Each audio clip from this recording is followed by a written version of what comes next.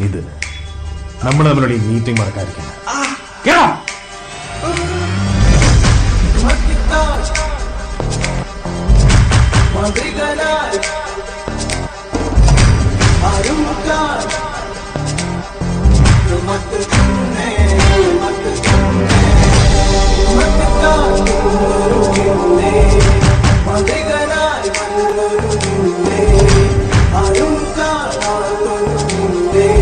one who's